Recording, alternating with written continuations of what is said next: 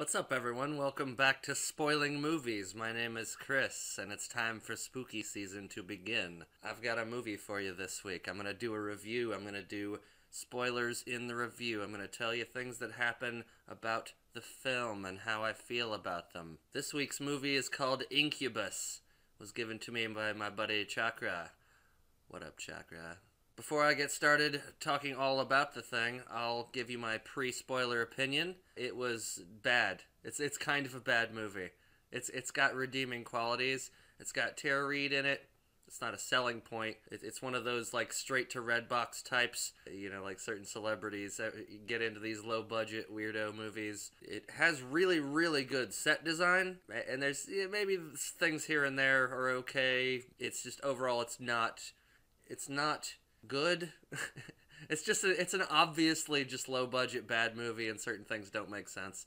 So uh, I would not recommend this movie unless you like really you know like B C level goofball movies. Now on with the spoiling of the movie. It starts with a scientist woman running from a scientist man in this weird looking uh, facility. They're like underground. There's like hallways and pipes and shit. They're wearing lab coats, so it kind of looks like they're scientists. He's got a crowbar. She's got a key and a screwdriver. And the opening shit kind of just does really bad looking flashbacks that show some dude stabbed in the eye with a screwdriver. so as the sequence went on, I was like, all right. So she stabs him in the face with a screwdriver. She's got a key, and that key is gonna do something later in the movie, I'm sure. And it keeps cutting back to this guy that looks like the the bad Deadpool from uh, from uh, Wolverine Origins. So I'm gonna call him Bad Deadpool. You'll you'll know what I'm talking about when I put him on screen. So these teens are on a, a group trip somewhere and they flipped their van. That's when we make, meet these kids. They need to go uh, find people. They, they can't get a cell signal, so they're trying to to they're like we, we, we can't stay with the van we got to go find people to you know help us this movie feels very foreign there's a lot of uh, adr i believe it's called where they, they just kind of dub over some of the characters voices as they're talking and i could tell by the accents like some of them were foreign the director was anya camilleri so that's that sounds like like an Italian name or something. So I'm not surprised that some of the actors like maybe Italian or foreign or whatever. They find this weird facility in the middle of the woods and it's got a fence. They immediately just like break into the fence. Uh, lights lights are shining on them, just like automatic lights from this thing. They like climb up to the roof and are able to just break open the uh, the top thing. And there's like a rope that goes down into it. They say it's too cold to stay out there, so like they're they're just trying to get in there and get warm, or, at least you know have a place to sleep until sunrise. Here's an example of weird writing. Like it's not all bad acting. Some of it's like bad writing. Here's an example. One guy says to Tara Reid, "What's the matter? You scared, little sister?" And she says, "That's big sister to you."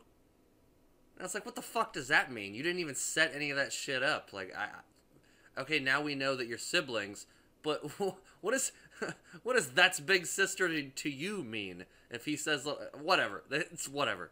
Tara Reid goes the first down the hole. She starts looking around for the light switches and shit. She finds some dead bodies, and instead of screaming, she's just like, "What? What is this?"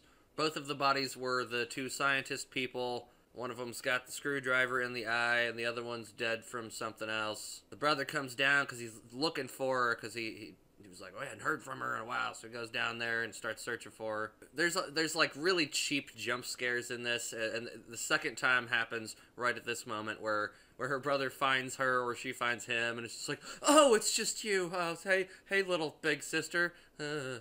Tara says, you gotta see this instead of being like, I found fucking dead bodies, we need to go, she's like, come look at this shit. One of the group's uh, girlfriend characters just decides to walk away. Instead of going in and staying with the group, she just walks away from the whole thing.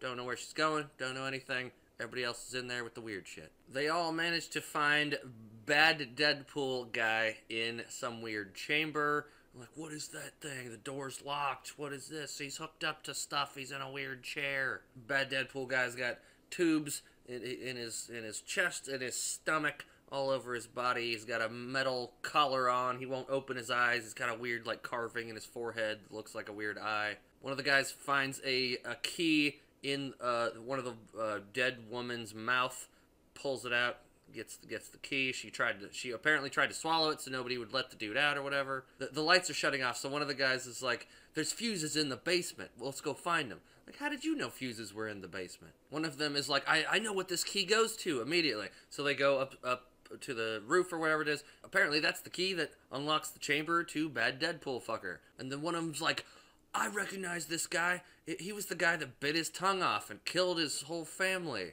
They managed to turn on the lights, and there's some uh, a different crazy scientist guy who who's there, and he's in the basement, and he just starts fucking stabbing the shit out of one of those motherfuckers. They manage to like lock him out of whatever room they're in. Then there's a whole bunch of Tara, Tara Reid, you know, acting her, you know, crying, "Oh brother, oh, my brother, oh, brother."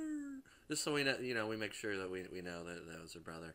Tara's able to find some VHS tapes of, of scientists talking about the experiments that they're doing. She finds out that they were like, you know, like just putting putting this guy like under under their, you know, like making him unconscious, but like using his mind to do things. So she goes upstairs and finds bad Deadpool guy, and she sits there and she's like they were talks to other person they, they were doing these things. He, he he was able to like astral project they never say astral project but that's basically what it is. She says when i was younger me and my brother like had a thing where we, we'd be able to like escape our bodies. And if you were in prison and solitary and that kind of shit wouldn't you want to escape your body? So he learned how to be good at like escaping his body.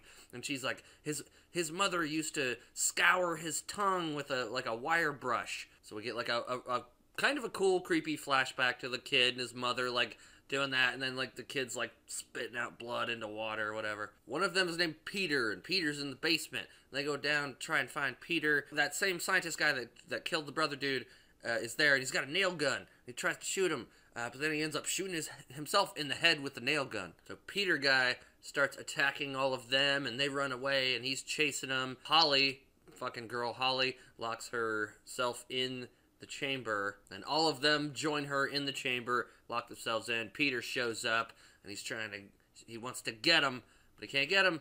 Uh, but we see him like bite his tongue, and his mouth starts bleeding. He takes the blood, and he fucking makes a fucking, uh, you know, one of those weird eyeball things on his head with the blood. So if you fall asleep, the the killer guy can like get in your body and make you do crazy shit and like kill people. So don't fall asleep because then astral projection bad Deadpool will get in your brain and get you. They decide they're gonna take Holly or whatever her name is and like make her fall asleep so that they can like trap him in her body or some shit. I don't know. This movie is boring as fuck. I don't remember exactly what was going on. So they know that when she falls asleep, she's gonna get taken over, but she'll be tied up so they so they got her or him. They got they got fucking bad Deadpool guy. So she falls asleep, gets taken over. She wakes up. She starts biting the fucking guy. They put a bag on her head and kill her. One of the dudes takes off the bad Deadpool's metal collar thing, rips out all the tubes. I guess assuming that he will die without them. They're going to, to take out Peter. They they get there and they, they bash Peter with a hammer. Bad Deadpool drops down from the ceiling and snaps fucking dude's neck she ties a rope to a thing, tries to toss it up the place that they came down. Uh, fails. She tries again. It fails. Fucking uh, bad Deadpool guy's like walking toward her, trying to get her. Like, I'm coming for you. I'm coming to get you. She makes him think that he that she has climbed up the rope, so he starts climbing up the rope. She was not actually up there. She was down there. So she grabs the rope and fucking yanks it down. So he falls down and he's like. And while he's laying there, he's like, kill please kill me. So she takes the rope and strangles him to death. She's exhausted from the experience, so she she falls asleep. When she wakes up, she's in bed and everything's nice. And then she starts having like weird like moaning. She starts feeling you know good and she's in bed uh, and like there's something in bed with her that's giving her those feelings and pleasures. And then he fucking killer dude, bad Deadpool. He pops out of the sheets and it's fucking him. He was fucking he was there. He was doing that shit. It's a dream sequence nightmare. But then she wakes up normal again and the cops come to the facility and they find her. The lady from earlier that had le- left them is uh, is there. Apparently, she went and got the cops to bring him back. When the cops is asking Tara Reid questions and she won't say anything, and he's like, "What's the matter, girl? Cat got your tongue?"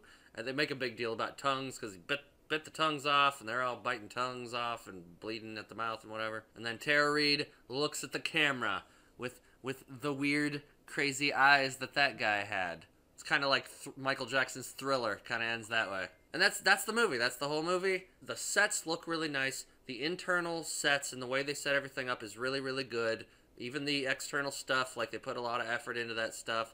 The sound seems basically fine, except for that weird ADR stuff at the beginning with the weird foreign accents and stuff. Uh, the acting is bad, but it might be possibly because of the writing or directing. Sometimes they say things multiple times that don't quite make sense. The story has merit, the story has potential. It just wasn't really executed very well. I mean, they, they tried, it just low budget, weird, weird writing script or whatever. The lighting and editing are kind of frustrating. The editing sometimes is very choppy, and like the flashing of the lights is very off-putting and like kind of just hard to look at. This is like a, a straight to Redbox type movie. It's not bottom of the barrel, but it is a don't recommend from me. So uh, the, not the best thing I've seen in, in a while, but uh, I mean it's not terrible. You could watch it. I just I don't think you need to. Happy spooky season, everyone. Peace out, guys. Leave me a comment. Let me know what you're thinking and feeling, and uh, hope you enjoyed this. And I'll catch you next time.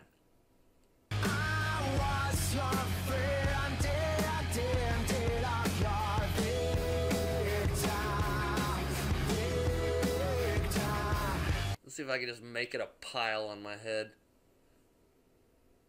They call me Pilehead. You want to know how I got this hair? I can actually see through that little spot.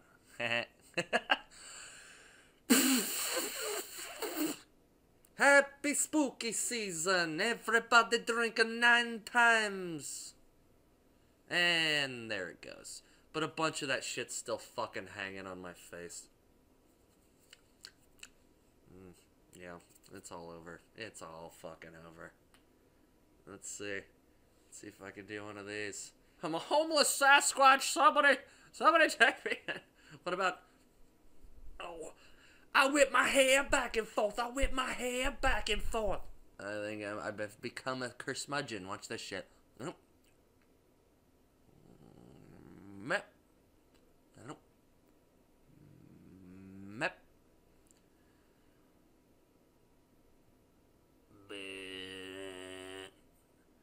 Na na na fucking. Uh, uh, uh, uh, uh, Make an eyeball on my forehead so I can astral project my way out of this bullshit. This week. Um. Anya Ca- Camilero? Uh. uh. She. I'm gonna get. Get beer in, in my fucking wig hairs. This isn't even a wig, by the way. This is like pieces of something. I don't even know what it is. But she takes she she and then like you know like I think I, we.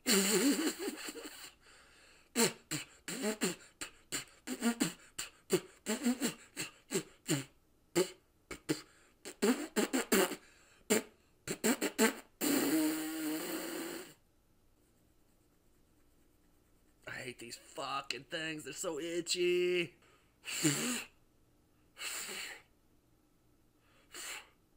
uh, science. Uh, one one of the. Uh,